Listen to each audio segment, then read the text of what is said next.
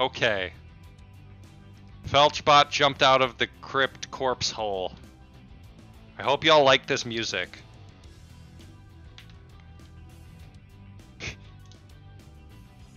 She's using her radar.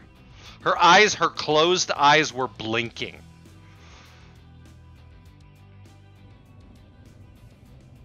Link accepted.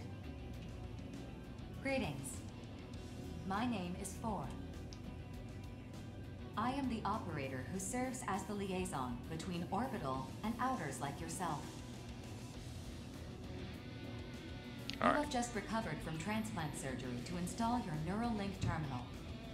At this time, your biometric data in the Oval Link will be updated and registered with Orbital. This is your arsenal on loan from Orbital. On loan. Before we register you as a mercenary, you must complete an aptitude test. Accept the mission from this terminal and await dispatch. Alright.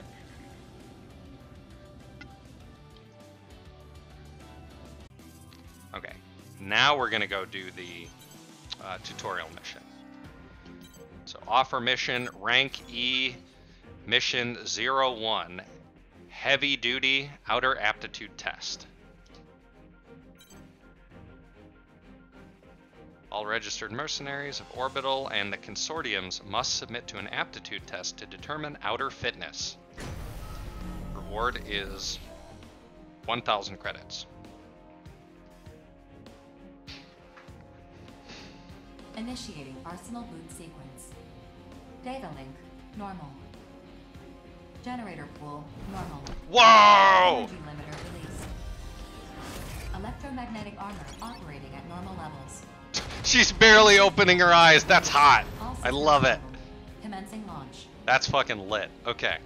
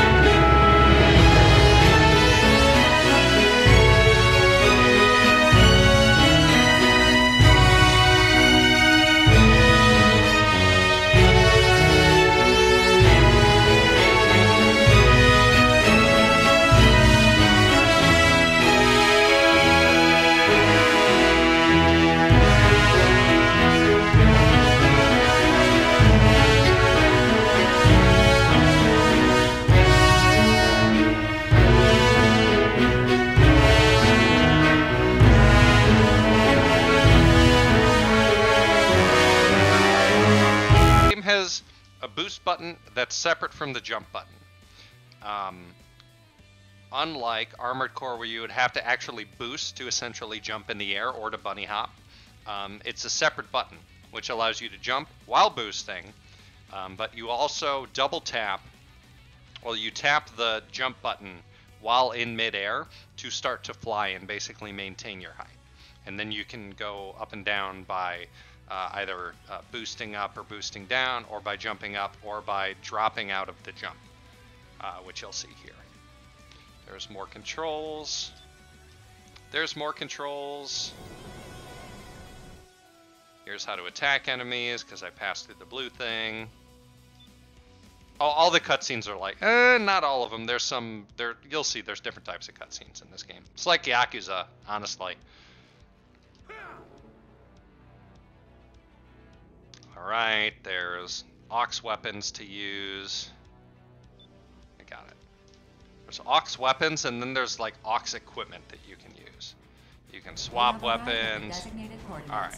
The aptitude test So, will now begin. when you're on the ground, you start by running, and then you can start sliding around. You can start boosting around and jump. Destroy all enemy AIs. The vital points gauge will deplete as you receive damage from enemies. This gauge represents your arsenal's capability.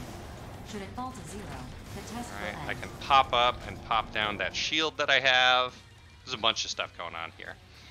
Um, you can recover your health in the missions by finding these tanks and shooting them. And basically, they create a field that you stand into. To lock onto an enemy, Exist. in the center of your monitor over the target. Once locked on, you may fire. Uh, the controls in this feel really good. correct for any minor lapses in firearm enemy fire, and to get within range to return fire. Um, you can fly more or less indefinitely. Okay, what's this? Oh, neat. More stuff's coming in. You can fly more or less indefinitely, but if you run out of stamina from boosting, you drop to the ground. Designated enemy AIs have been detected. Where? the There you are.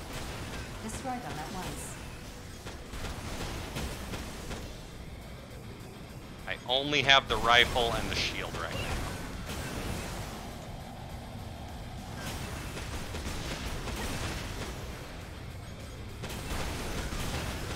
now. Um,